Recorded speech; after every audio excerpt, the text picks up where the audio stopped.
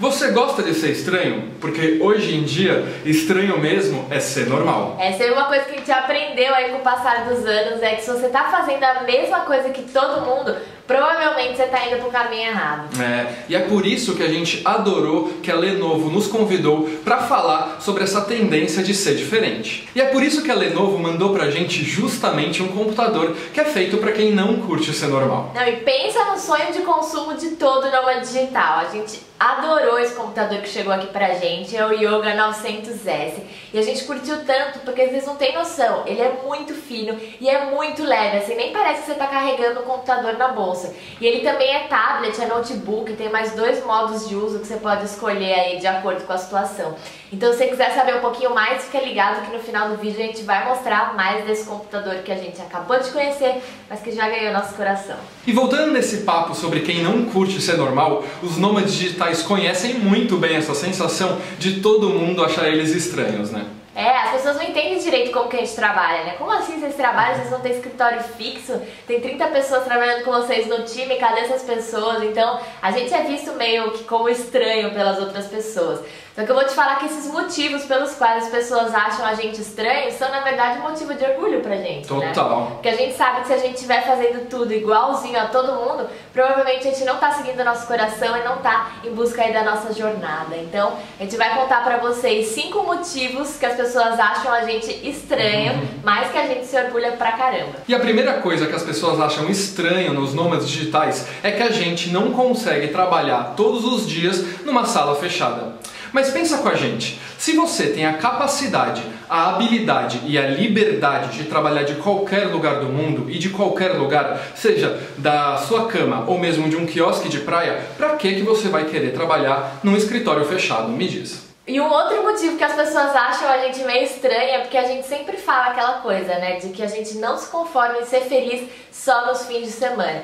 Então pra gente sempre foi muito esquisito, assim, putz, eu vou ter que trabalhar cinco dias de um jeito que eu não quero e aí eu vou ter dois dias na semana pra viver como eu quero. Isso nunca fez sentido pra gente, né? Então por isso que a gente tenta intercalar nossa rotina, então a gente trabalha bastante, a gente é produtivo, principalmente focando nas horas que a gente é mais produtivo, mas a gente vai lá e intercala momentos do nosso dia com algumas atividades que fazem bem pra gente, né? Então, sei lá, fazer um café da manhã na praia, sair pra passear com o cachorro, tomar um café da tarde num café e continuar trabalhando de lá. Essa liberdade é o que traz muita diferença na nossa qualidade de vida.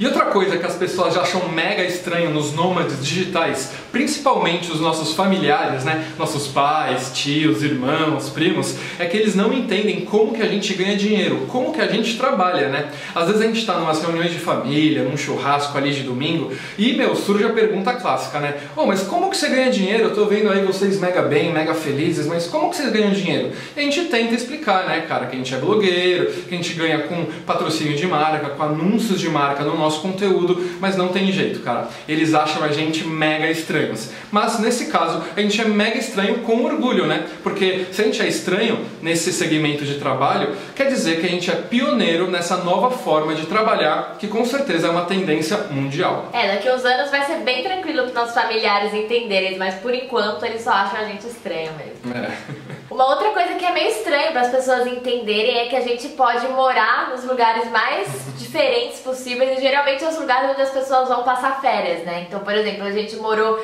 dois anos em Ilha Bela numa agrovila totalmente no meio do mato, ali cercado de natureza e as pessoas achavam que a gente estava no sabático, mas não, a gente estava mega trabalhando, trabalhando bastante por dia e é um lugar onde as pessoas iam passar férias, né? Então a gente tem essa liberdade de estar em várias cidades e a gente não precisa de arrumar um emprego quando a gente chega nessa outra cidade. A gente traz o nosso trabalho com a gente no nosso computador. Então, com certeza, para os outros isso é meio difícil de entender, mas pra gente é uma das coisas mais legais de ser nômade digital.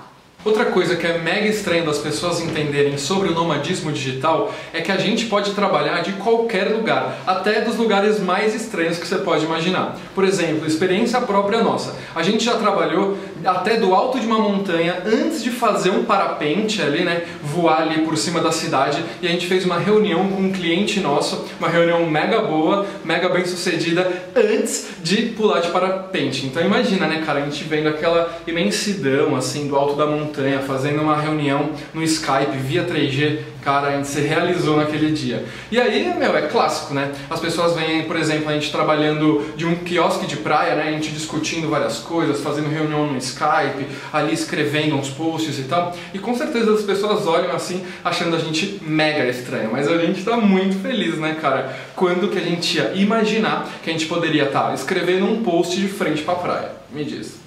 E justamente por a gente trabalhar nesses lugares mega estranhos, é que a gente precisa ter um computador fino, leve, com vários modos de uso, para ali otimizar o nosso trabalho e o nosso tempo, né? Por isso mesmo que a gente adorou o Yoga 900S. Dá só uma olhada e você vai entender por que, que a gente falou que ele é o sonho de consumo de todo nômade digital. Ele é super diferente dos computadores que a gente está acostumado, mas é amor à primeira vista. Ele tem quatro modos de utilização. O primeiro, padrão, notebook para você trabalhar em cima de uma mesa, no escritório, etc. E aí o notebook vira tablet também. Então você tem liberdade para trabalhar mesmo que não seja em cima de uma mesa. E aí tem dois modos de utilização muito especiais. O primeiro é o apresentação.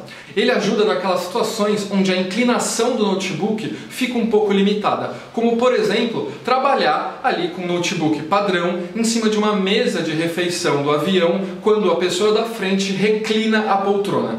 Tem outro modo também que a gente adorou, que é o modo tenda, porque, por exemplo, a gente fica viajando e a gente fica em casas diferentes, assim, e às vezes essas casas são meio pequenas.